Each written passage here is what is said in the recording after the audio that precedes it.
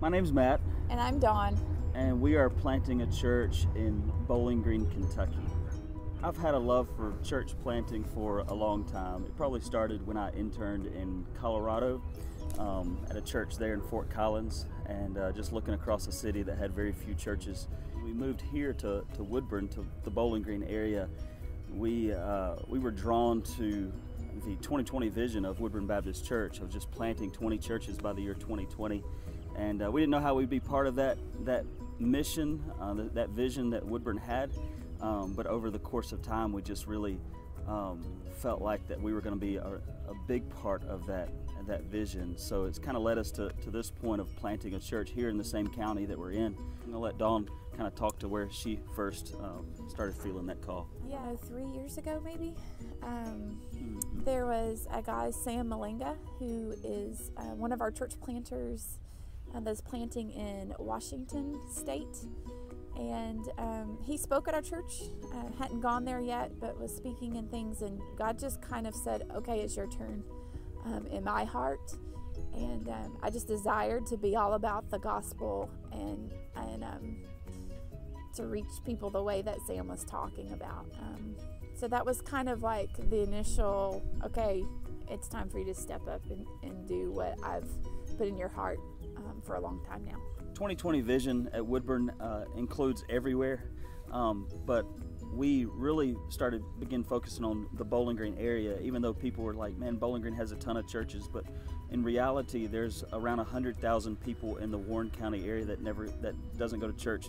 Uh, Bowling Green is a very um, acceptive place for immigrants, and uh, we, over the course of the last year, year and a half, we we just fallen in love with with uh, immigrants in this area and their needs. And, and one of the things we want to do in the in the community that we're in is uh, is make sure that every person in that community that we're in knows that they're loved.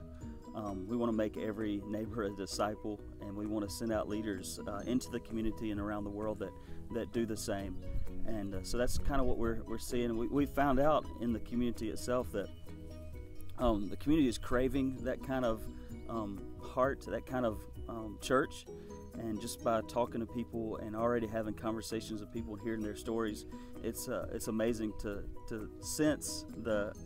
It's not easy, um, but it's really easy to to build relationships. Um, this is a hard work. You know what we're doing is trying to blend um, nations. We're trying to blend uh, languages, um, socioeconomic uh, diversity, and so that that's very difficult. But at the same time, it's it's a it's a community that craves somebody to come alongside them, and and we've already seen that just in working the in the community and and being involved in some of these people's lives of, of the of just the um, the natural flow of, of just building relationships with people has been has been uh, so encouraging, and you can see God at work in, in some of those specific areas.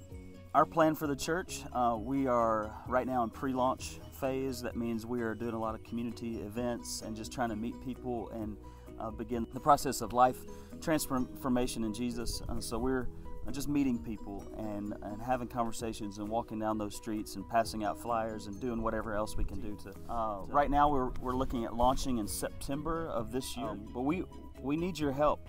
Uh, right now, we have a couple of churches and a number of individuals that are sponsoring us, that are giving towards uh, what God is doing here. Woodburn Baptist Church, which is, which is our sending church, where I've been a youth pastor for the last five plus years, uh, is sending us out. And uh, we're also partners with Hillvue Heights Church in Bowling Green, which is one of the largest churches in Bowling Green, but one of the most evangelistic churches and the most um, the one with the one of the biggest visions uh, for Warren County. Um, Pastor Steve Ayers is on my board, so he helps direct and make decisions for Journey Church, um, but they're a partner with us. We're looking for a couple more church partners as well, just to come alongside of us in prayer and financially and things like that um, for the next few years. Also, we're looking for individuals to give and be part of this uh, vision for this community. Um, so we're asking you uh, if you would give um, to this cause. We're looking for people that you know from. It may be a, a child that says, "I can give a dollar uh, to this cause." That's part of it, and that dollar will go to reach reach people. But if you can give ten dollars a month, twenty dollars a month, uh, and I know some of you probably could afford hundred dollars a month, uh, we would uh, greatly appreciate it because we want to. We know that the the type of church that we're building, um, the community that we're in, has a lot of needs, and it's one of those things where you know, even if we have a lot of people in church, our tithes and offerings probably won't be very high for a long time because a lot of people aren't churched at all, and that's good, and we want to reach those folks as much as possible. But also, they're financially strained, uh, they're immigrants, they're this and that, and it just it keeps them from the ability to give and to support a ministry like this. And so we want to invite you into that vision uh, of Journey Church. Um, so I encourage you to, to pray about what uh, you will do and how you'll be a partner with us in what God is trying to do in this community. Thank you.